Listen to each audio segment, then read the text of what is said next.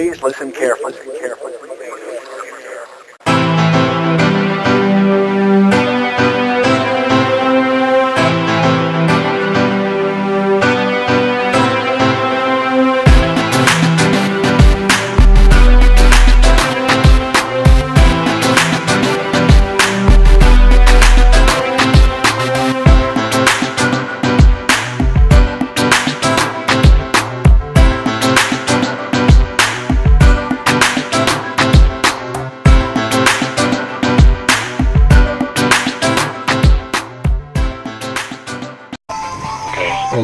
Thomas Reed fight? What do you remember about the Thomas Reed fight?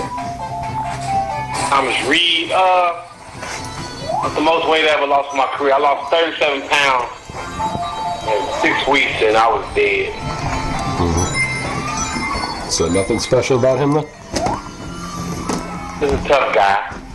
He, uh, one of them guys that don't really come to win, just trying to last. Yeah.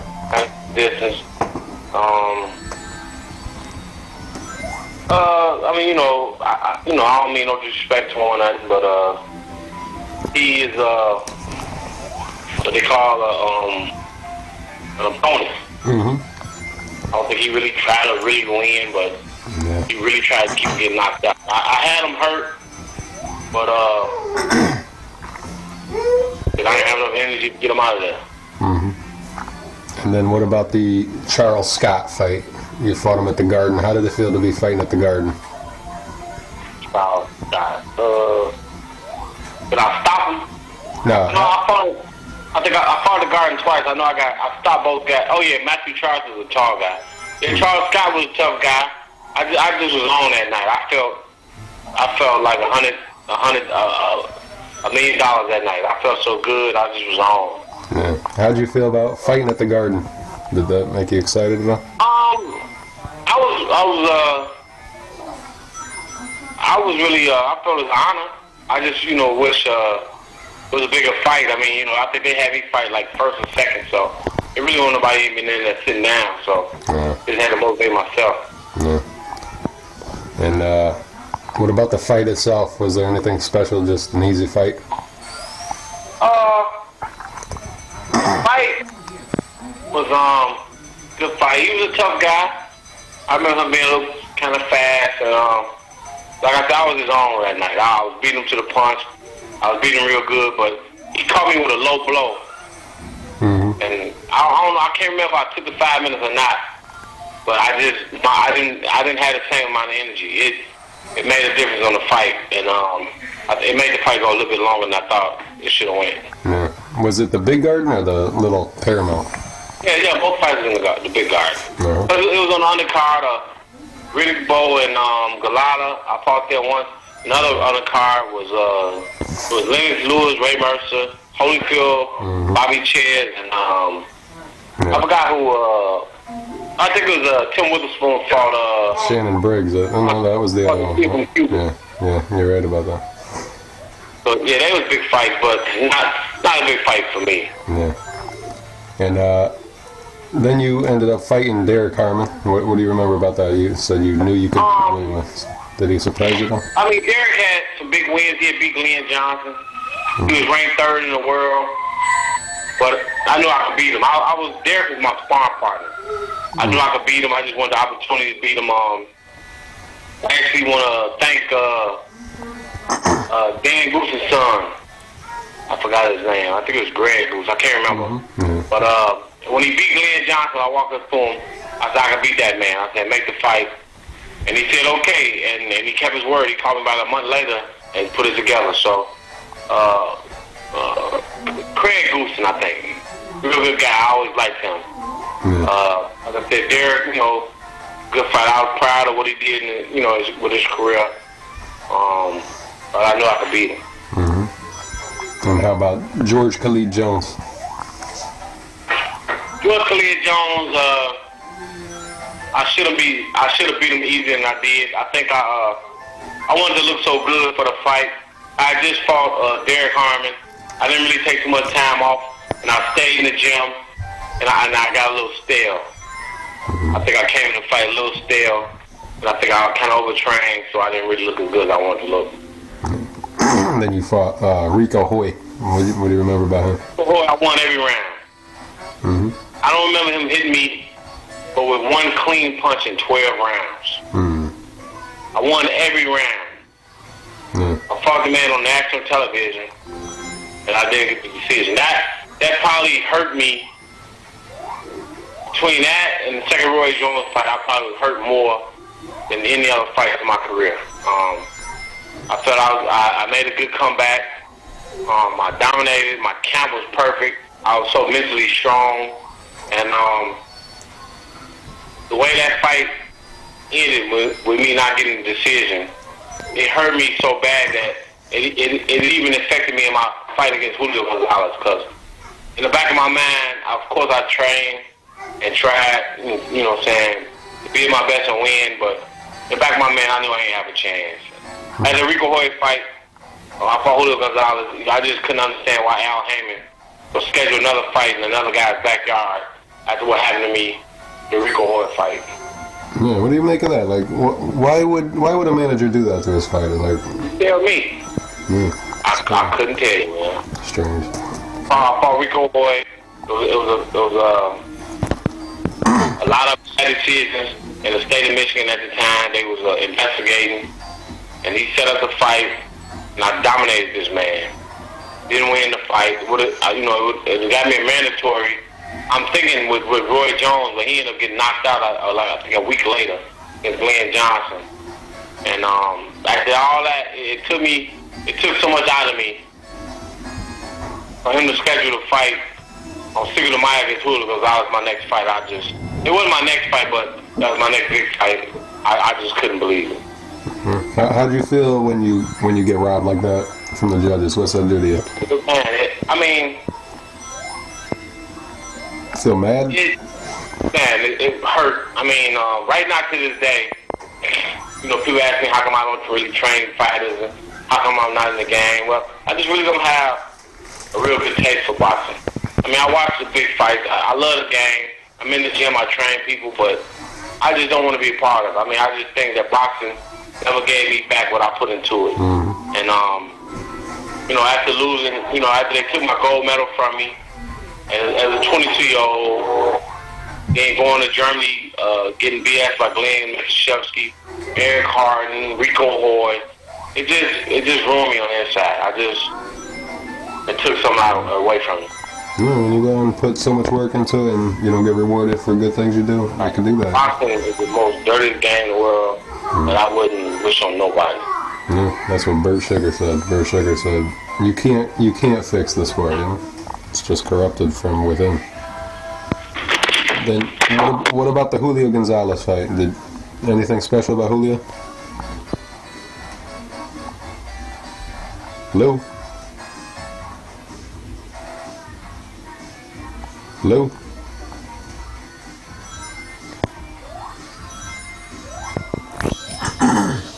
Hello.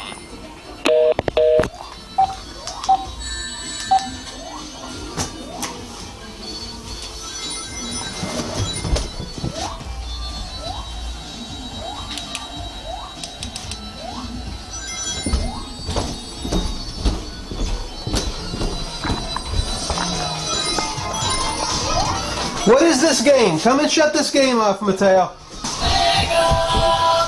And give it to Andrea. She wants to play.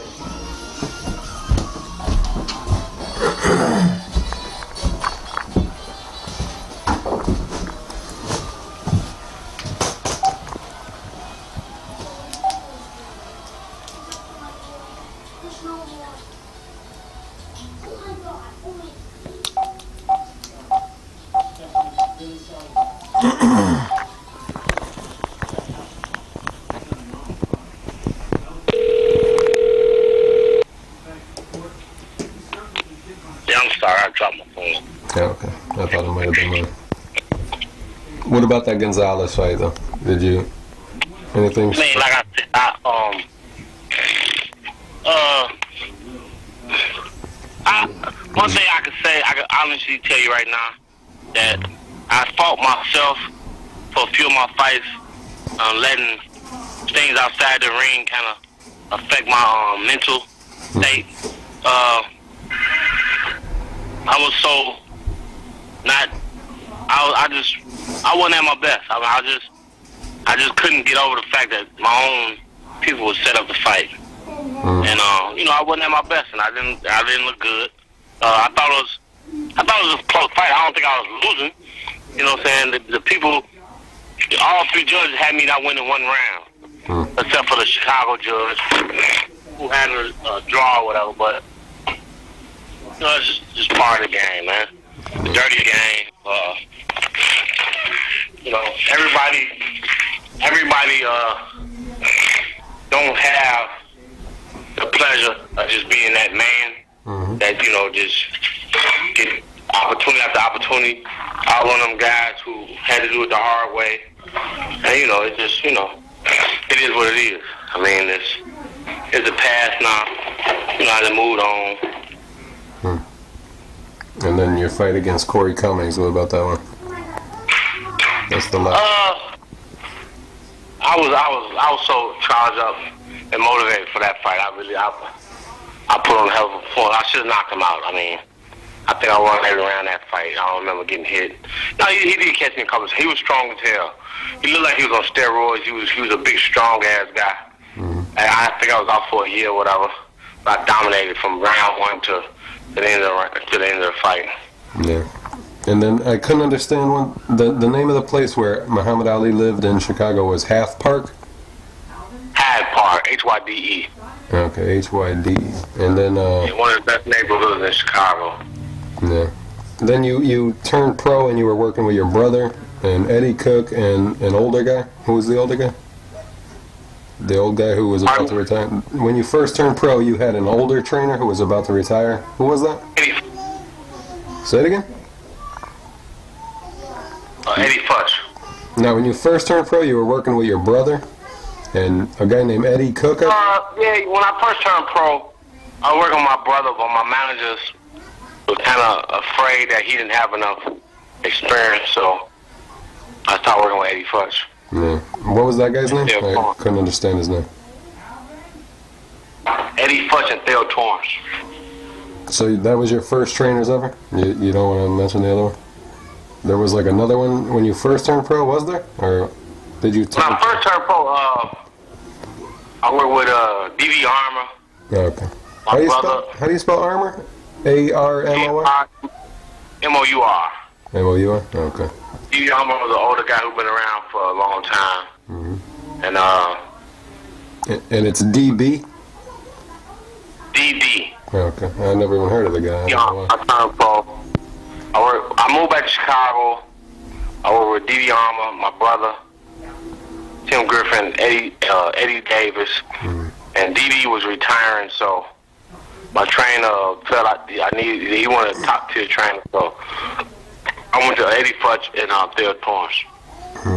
And then um, just talk about the Lathan fight a little bit.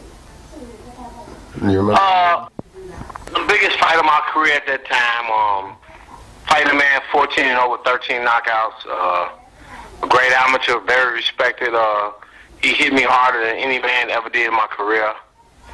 Uh, I had mad respect for him. Um, uh, hope he rests in peace. He, he not with us no more, but uh, it was a good fight. Uh, one of the fights when I just had to change my style. Uh, he hit so hard that I knew I couldn't try to box him. So I told him I had to go out there and try to hit him, try to knock him out.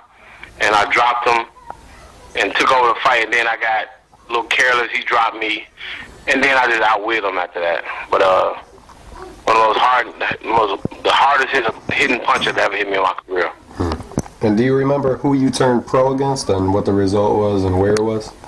Yeah, I fought in Denver in '93. I don't remember the guy's name, but I knocked him out in the second or third round. I can't remember. How did you feel after that first one? Uh, I was kind of surprised because I had a pro style, but at the time I didn't know because shit, I hadn't fought in eight years. You know, till I can't, you know, till I turned amateur. But having my first pro fight, it was just so much easier, more easier than the amateurs. You know, because referees always stayed on my ass because of my defensive style, and I always took points away. So I just couldn't believe the feeling it was without no headgear. and I could move around. I felt so loose, and I I knew I was gonna love the pros after that fight. And then, um, where were you in when you talked to Jackie Kallen and she said, "Come and say hi to James"? Were you? Was that after the? I was in, I was in, I was Roy. He was getting ready for Roy Jones. Okay. Getting ready. Um, right, he was going to fight Roy Jones. It was 100 degrees in his room because he was overweight. Had uh, treadmills and scales all over the room. So I knew he was overweight. And uh, like I said, Jackie, you know, begged me to come up there and speak to him when I really didn't, you know, Yeah. at that time, I didn't really, you know, he was, he was my favorite fighter as as an amateur.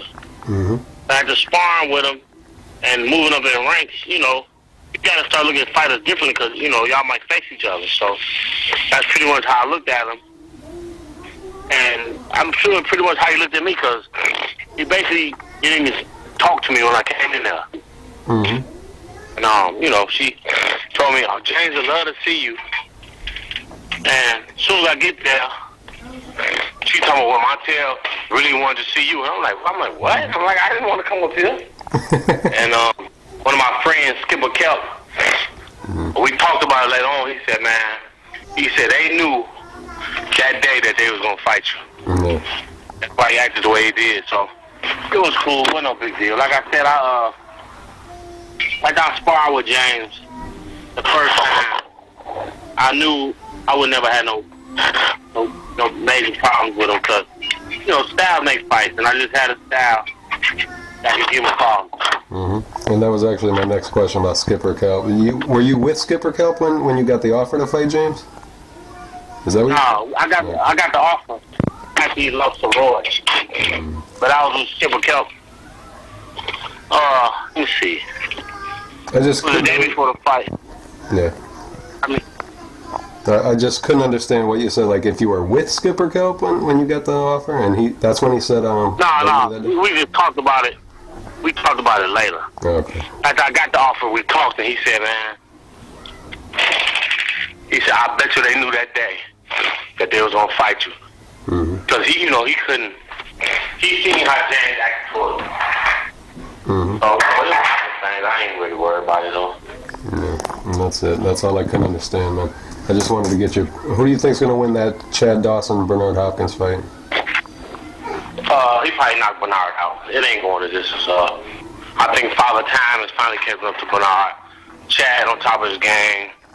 I think he, uh, you know, he mad about the first fight. I think he gonna go out and uh, retire Bernard. Yeah. How about Mandy? I just hope you know, you know, as long as he on top of his game, I hope he don't take him easy, take him light like he took Pasquale. Hmm How about that? I'm sorry. I think the kid, you know, the kid is uh one of the most uh, physically, you know, phys- physically dominating guy. You know, just just for his size. hmm how do you think a, a match between Montell and Chad would play out?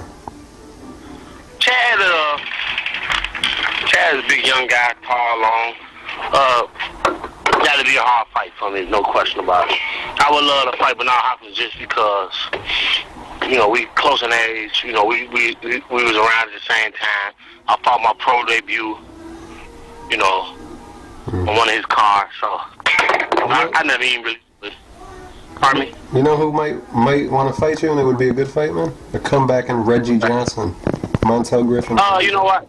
I uh, I thought about that. Uh, come on. I thought about that. Uh, come on, come on, come on.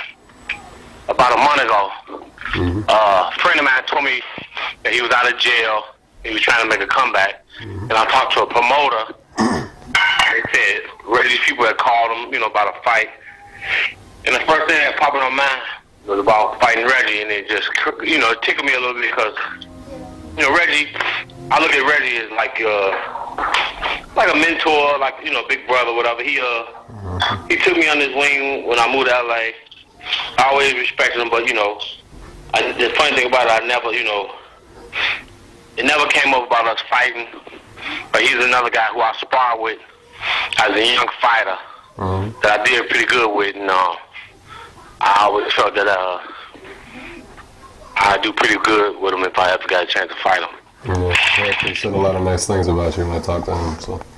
Pardon me? He said a lot of nice things about you when I talked to him. Yeah. about yeah. Reggie, uh, Reggie took me under my wing. I mean, under his wing. We hung out. He showed me around L.A. I can't say nothing bad about that man. He even uh, hooked me. I think he hooked me up with the first girl I was with. First girl I was ever with in in uh, L.A. I think he even hooked me up with her. So I can't say nothing about the man. Nothing bad about him. The southpaw stance didn't do anything to you? Throw you at all? Pardon me? You didn't have any problem with a southpaw? With his being a southpaw? No, you know, I'm, I'm actually a southpaw. I'm left-handed, Mhm. but I fought right-handed, and uh, I, I never had a problem with any southpaw. Uh, you got uh, Tarver, which just is a guy who at 6'3", he kind of leans back, and these fights kind of scary, so it was kind of hard to reach him. But besides that, I, I never had no problem with no southpaw. Yeah. What do you think is going to happen in the Manny Pacquiao Tim Bradley fight? Um, if Manny ain't slipping and taking a step back, uh, I don't, I don't really, I don't really see him. I don't. I, Timothy Bradley, not no disrespect or nothing, but I just ain't never. He not really that special to me. Mm-hmm. Yeah. I mean, his last fight with uh, shut up. His last fight with Casamayor, who was a legend in my eyes, and I respect him. But you know, it was way past his prime. He couldn't even do nothing to him. Mm-hmm. And um, there was one kid named St. Louis. He just quit. Mm-hmm. So I mean, Timothy Bradley just really ain't impressing. He's not a big guy. Um, I think Pacquiao got caught off guard with uh, Marquez because he, he probably felt he was finished. It took him a little lightly, light, lightly, you know, light, lighter, and he should have. So he, he, he struggled with him, but I know he's gonna be up for the Timothy Bradley fight because of shut up, because of you know, because struggling with Marquez. Um, out of the two fights, I think the Mayweather fight probably be more. Um, I ain't gonna say tougher, but uh, more exciting to watch, more interesting to watch. But I just want to see with Cotto coming in at 54, Mm-hmm. Floyd coming in, you know, whatever you weigh, 49, 450, you're not gonna gain no weight. You know, he's not gonna put no lot of weight on. But Cotto gonna be 160 pounds when they get in the ring, so it's gonna be interesting late in the fight. If if Cotto try to box, Mm-hmm. he's gonna get destroyed. But if he go out there and try to muscle them and push them around and try to weigh them down, then I think it's gonna be interesting, you know, in the later rounds. Yeah. That's all I got for you, buddy. You, you'd make a good, um, like, color commentator. You know? You Talk well, man. Well, if you, well, if you know anybody who's interested, give my name. I will.